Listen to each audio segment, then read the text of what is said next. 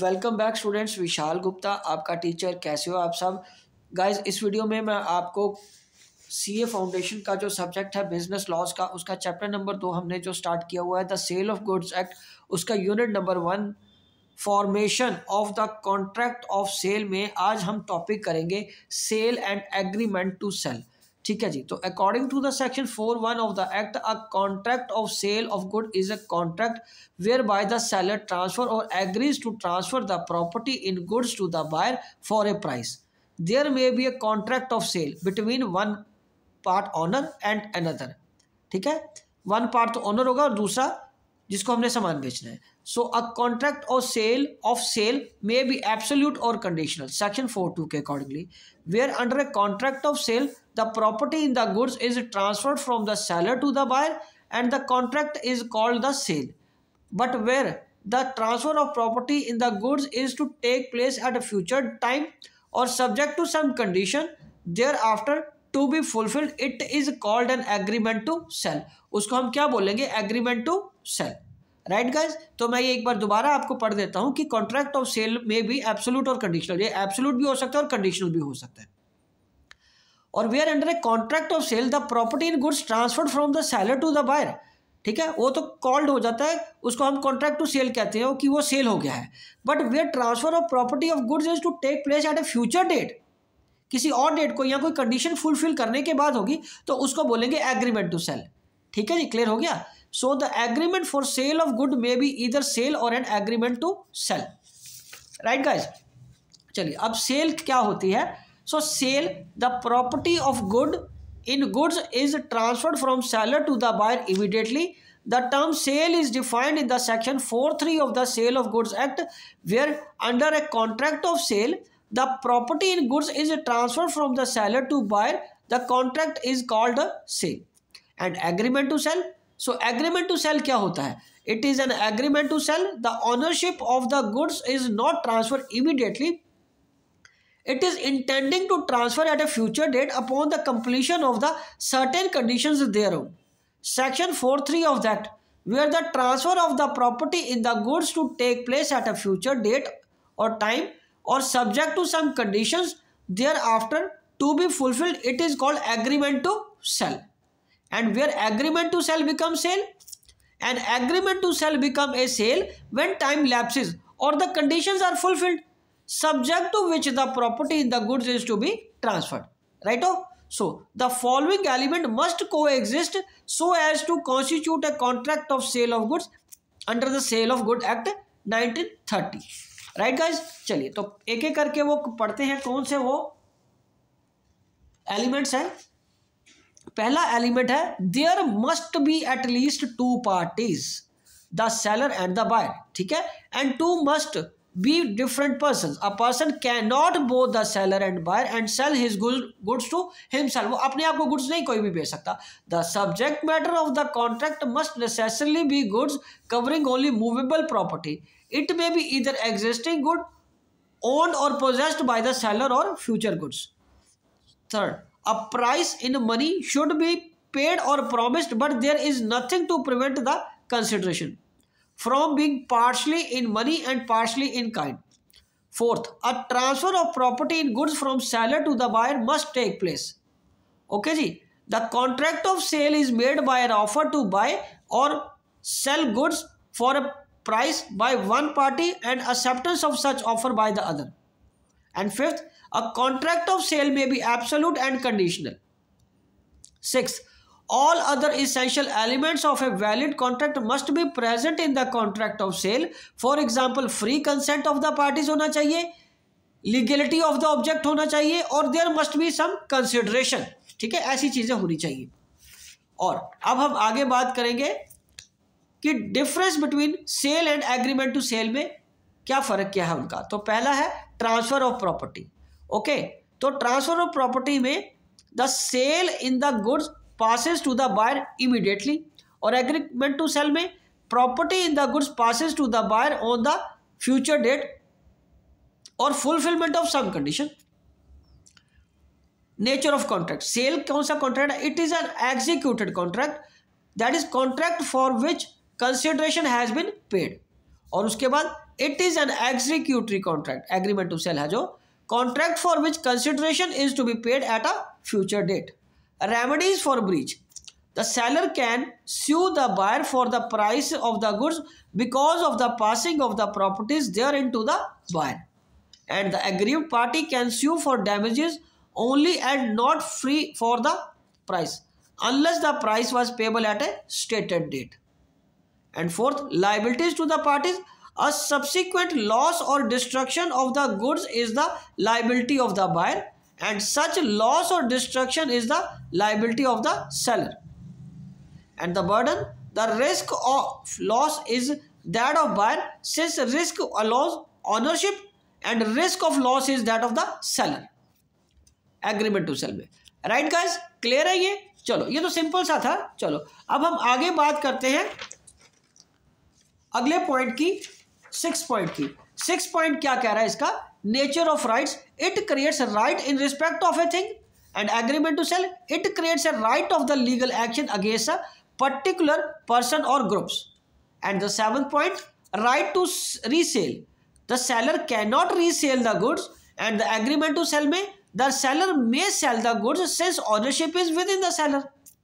and eighth point क्या है in case of the insolvency of the seller The official assignee will not be able to take over the goods but will recover the price from the buyer. And उसके बाद agreement to sell में the official assignee will acquire control over the goods but the price will not be recoverable. Ninth case, in case of insolvency of the buyer, the official assignee will have control over the goods and the official assignee will not have any control over the goods. Right जी चलिए अब हम आगे discuss करेंगे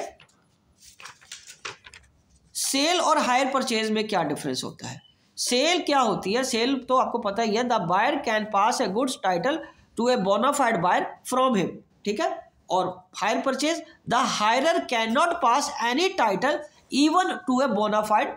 buyer ठीक है ये तो हम इसका फिफ्थ पॉइंट था अच्छा ये इसका सॉरी फर्स्ट पॉइंट इसका ये रहा यहाँ से शुरू हो रहा है difference between sale and purchase का तो इसका सबसे पहले हम इसकी मीनिंग की बात करेंगे सेल और हायर परचेज के time of passing the property sale में क्या होता है the property in the goods is transfer to the buyer immediately at a point of time ये इसका पॉइंट नंबर वन है गाइस वो मैं दूसरा पेज पहले आ गया सामने ठीक है ये पॉइंट नंबर वन है इसका जिसमें हम इसकी डेफिनेशन में क्या पढ़ेंगे टाइम ऑफ पासिंग की प्रॉपर्टी में क्या आ रहा है सेल के the property in the goods is transfer to the buyer immediately at the time of contract और हायर परचेज में the property in the good passes to the hirer upon payment of the last instalment और last instalment मतलब ठीक है और position of the party क्या है sale के केस में the position of the buyer is that of the owner of the goods और हायर परचेज में the position of the hirer is that of the bailee till he pays the last instalment और third termination of contract the buyer can not terminate the contract and is bound to pay the price of the goods और उसके बाद the hirer में if he likes so likes terminate the contract by returning the goods to the owners without any liability to pay the remaining instalments और उसके बाद fourth the burden of risk of insolvency of the buyer ठीक है जी the seller takes the risk of any loss resulting from the insolvency of the buyer and the hire purchase का क्या point है difference का the owner takes no such risk and for if the hirer fails to pay the instalment the owner has the right to take the backwards okay बेटे चलो तो अब है वो मैंने फिफ्थ पॉइंट तो पहले ही बता दिया था इसको दोबारा बता देता हूँ वो गलती से मेरे को ये पेज पहले आना चाहिए था ना तो मैं ये पेज का पॉइंट आपको पहले बता गया ठीक है ये पांच चार पॉइंट ये आपको क्लियर हो गए एक बार दोबारा देख लीजिए सेल और हायर परचेज का डिफरेंस है ये ठीक है गाइस ये सेल और हायर परचेज का डिफरेंट है डिफरेंस है ये चार पॉइंट क्लियर हो गए पांचवा पॉइंट मैं दोबारा आपको बता रहा हूँ the transfer of title the buyer can pass a good title to a bona fide buyer from him and the can cannot pass any title even to the bona fide buyer. और उसके बाद six point क्या resale का the buyer in sale can resale the goods and the hire purchaser can not resale the goods unless he has paid all the instalments ठीक है जी तब तक उसने सारी इंस्टॉलमेंट नहीं बेची वो सामान नहीं बेच सकता तो अब हमारे लिए इंटरेस्टिंग हो गया कि हायर परचेज क्या होता है इसको अच्छी तरह अंडरस्टैंड करेंगे हम mind it it is govern by hire purchase act 1972 ठीक है जी the term hire purchase agreement means an agreement under which goods are let on hire and under which the hirer has an option to purchase them with the terms of the agreement and includes an agreement under which possession of goods is delivered by the owner thereof to a person on condition that such persons pay the agreed amount in the periodical installments and after that the property in the goods is to pass to such person on the payment of the last of such installment ठीक है guys चलिए तो आगे क्या है such person has the right to terminate the agreement at any time before the property so passes nonetheless a sale has to be distinguish from an hire purchase as their legal incidents are quite different तो दोनों ये अलग चीज़ें हैं अब हम आगे बात करेंगे कि बेलमेंट क्या होती है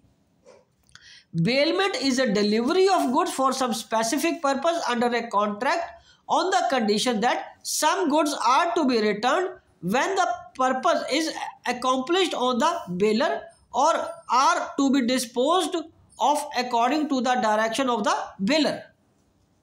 and after that provisions related to bailment are regulated by the Indian Contract Act 1872 तो डिफरेंस क्या है सेल और बेलमेंट का transfer of property from seller to buyer and bailment there is only transfer of possession only